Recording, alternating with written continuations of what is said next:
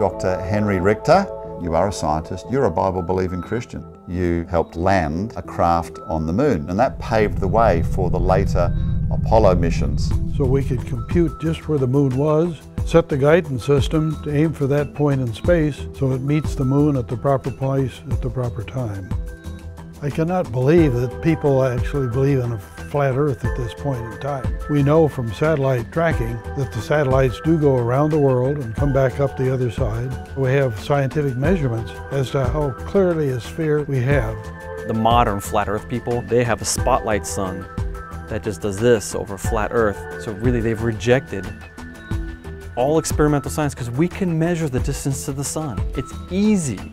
Also, South Africa is in the same time zone as Germany, but at night the Germans see the North Star while South Africans are viewing the Southern Cross, the same constellations as seen from New Zealand. This is only possible on a round Earth.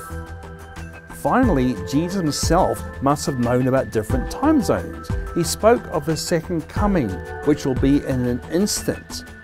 Two people would be in bed at night, but at the same time, two women would be grinding corn in the morning. So Jesus understood that at one time, some parts of the earth would be morning and other parts at night.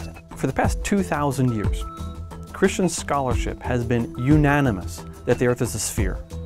I really want to appeal to people to use your critical thinking skills.